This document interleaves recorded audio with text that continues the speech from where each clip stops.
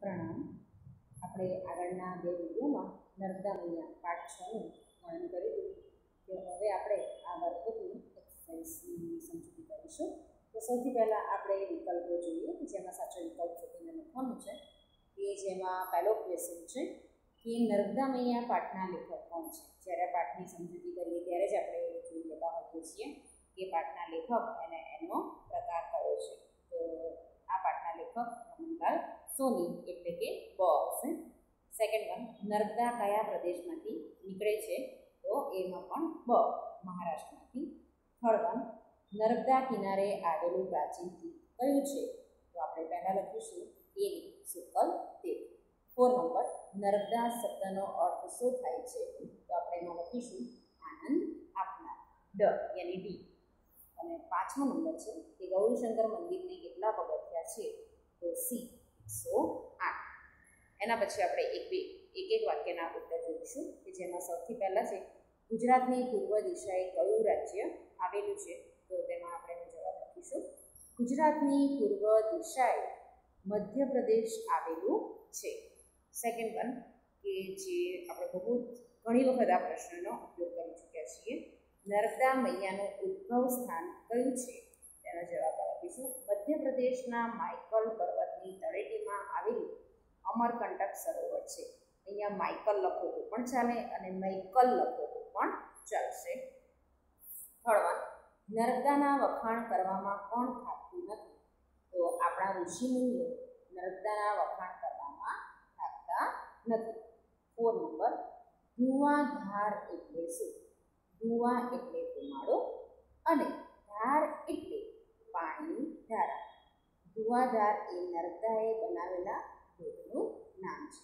અહીંયા તમને જે પાછળથી જે લાઈન કીધી છે, એ કદાચ ના લખો તો પણ ચાલે.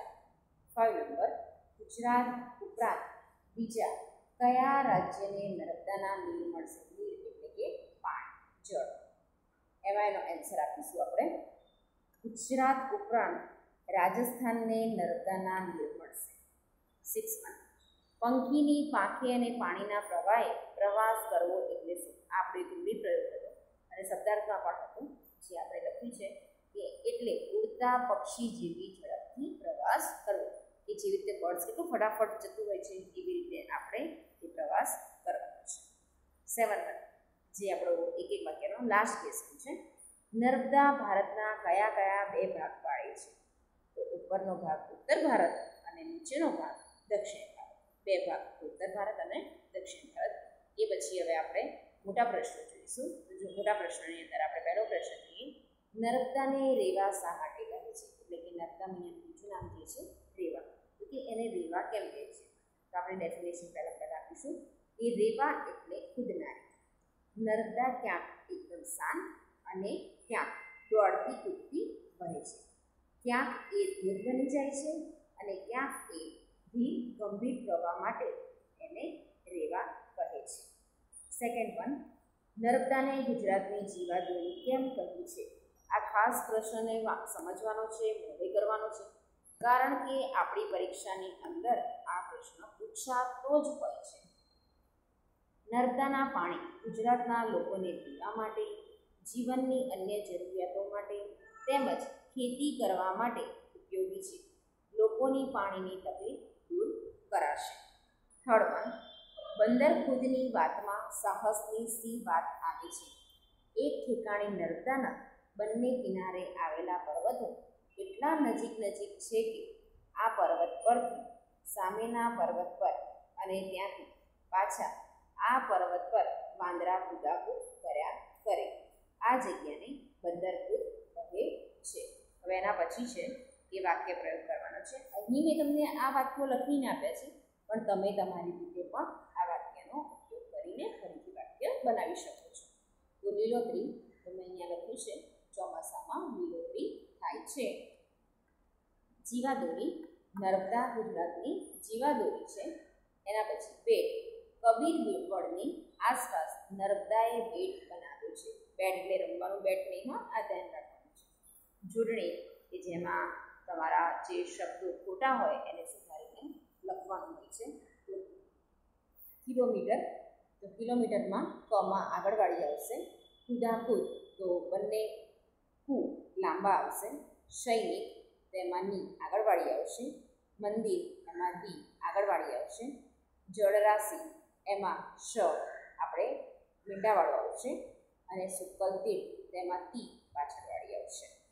એના પછી છે, શબ્દ સમૂહ માટે એક એક શબ્દ આપવું તેમાં પહેલાં પહેલું છે, હોળીમાં બેસીને ફરવું સહેલગા કરવી. નોર્મલી આ દરેકને આવડવું જ જોઈએ, કારણ કે આપણે કોઈ પણ જગ્યાએ જ્યાં જો આપણે હોય અને આપણે ના કર્યું હોય, એવું તો હું માનું જ નહીં. બધાએ નાના મોટા સૌએ આ વસ્તુનો ઉપયોગ કર્યો છે કે આપણે બોટિંગ કરીએ છીએ. આપણને ઇંગ્લિશમાં ખ્યાલ છે કે એને બોટિંગ કહેવાય. અને આપણે કહીએ પણ છીએ કે મમ્મી, પપ્પા, મારે બોટિંગ કરવું છે. બોટિંગ એટલે શું?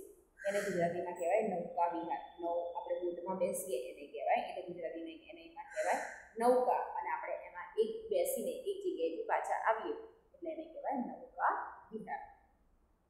પાણીની સાંભેલા જેવી જાળીધાર એટલે કે મૂછળધાર આ સવારે જેવો વરસાદ આવ્યો, એને કહેવાય ગઈકાલે બપોરે આવે તો એને કહેવાય મૂછળધાર મેઘધનુષના જેવું અર્ધગોળ રંગ, સપ્તરંગી દ્રશ્ય. જેને આપણે ઇંગ્લિશમાં રેનબો કરીએ છીએ, એને ગુજરાતીમાં આપણે કહીશું મેઘધનુષ્ય ચાર નંબર જેની ચારે કોર પાણી હોય તેવો જમીનનો ભાગ, એટલે કે ભેટ, કે ચારે બાજુ પાણી જ પાણી હોય. લોકોનું ભરણ પોષણ કરનાર, ઉછેરનાર માતા, એટલે કે લોક માતા આગળ જોઈએ. જેમ આપણે રૂઢિપ્રયોગ જોઈશું, જે હમણાં આપણા ક્વેશ્ચન આન્સરમાં પણ આવ્યો હતો, કે પંખીની પાંખે અને પાણીના પ્રવાહે જવું, તરત જ પ્રવાસ કરવો. હવે અહીંયા આગળ વાક્ય તો મેં લખીને આપી છે, તમારી પીડીએફમાં પણ વાક્ય લખીને આપ્યું છે. પણ જો તમારે તમારી રીતે પ્રયત્ન કરવો હોય તમે વાક્ય બનાવવાનો પ્રયત્ન કરી શકો છો. એના પછી છે જીવાદોરી હોવી જીવનનો મુખ્ય આધાર હોવો. થળવન સ્વપ્ન ફળવા હવે શબ્દ ફળવા એટલે કે આપણે જે જોયું હોય, ઈચ્છા આપણે કરી હોય એ એટલે કે ઈચ્છા પૂરી થવી. અહીં અમે તમારા વાક્યો તો લખીને આપ્યા છે, પણ તમારે તમારી રીતે પ્રયત્ન કરવાનો છે કે જેથી કરીને તમને પોતાને પણ અહીંયા વાક્ય બનાવતા આવડે. આપણે હવે આગળ જોઈશું. કક્કાવારી એટલે શબ્દકોશ લખવાનો છે. ઘણા બધા અહીંયા આગળ વર્ડ્સ છે. તો આવા સૌથી પહેલાં આપણને ખ્યાલ હોવો જોઈએ કે શબ્દકોશ એટલે શું? શબ્દકોશમાં આપણે પહેલાં વોવેલ્સ જોઈશું અને પછી કોન્સેપ્ટ અગર એક સરખા જો તમારા શબ્દો છે, તો એ શબ્દો માટે આપણે બારાખડીનો ઉપયોગ કરીશું. તો હવે અહીં આપણે જોઈશું. અહીંયા આગળ ઘણા બધા વર્ડ્સ છે, તો પહેલાં આપણે વર્ડ્સ હું વાંચીશ. કે નર્મદા, પ્રવાસ, પંખી, ઉત્તર, કુદરતી, સુરવીર, સુંદર ધુમ્મસ, વડદાદા, કવિ, રાજસ્થાન અને મુખ્ય. દસ વાર અહીંયા આગળ શબ્દો છે. બાર સોરી બાર અહીંયા શબ્દો છે, તો બાર શબ્દોને આપણે અહીંયા લખીશું. સૌથી પહેલાં એનો જવાબમાં આવશે ઉત્તર. એના પછી કવિ, કુદરતી, ધુમ્મસ, નર્મદા, પંખી, પ્રવાસ, મુખ્ય, રાજસ્થાન, વડદાદા, સુરવીર અને સુંદર. હવે એના પછીની આપણે હવે એક્ટિવિટીમાં જોઈએ. તો એક્ટિવિટીમાં આપણને ખ્યાલ આવશે કે અહીં આપણને નીચે એક બોક્સ આપ્યું છે. અને બોક્સમાંથી એ આપણે શોધી અને લખવાના છે એ વિરુદ્ધાર્થી શબ્દો પૂર્વ, પશ્ચિમ, લાંબી ટૂંકી ઊંચે નીચે, સુંદર, કદરૂપું, લાભ, ગેરલાભ, સુખ અસુખ જીવન, મૃત્યુ. હવે અહીંયા આપણે એક જોવાનું છે કે મૃત્યુ અલગ રીતે લખાય છે અને અહીંયા બોક્સમાં અલગ છે. એટલે જો મેં બે વસ્તુ વખત અહીંયા આગળ કે જે સાચું છે એ બ્રેકેટમાં લખેલું છે. અને આશા તો નિરાશા. એના પછી જોઈએ આપણે સમાનાર્થી શબ્દો. એ પણ એવી જ રીતે છે કે બોક્સ આપ્યા છે અને બોક્સમાં આપણે શોધીને લખવાના છે અને બોક્સમાં જાતે તમારે એને સર્કલ કરી દેવાનું છે. કાં તો આડી ઊભી લાઈન બધી શોધી કાઢવાના છે.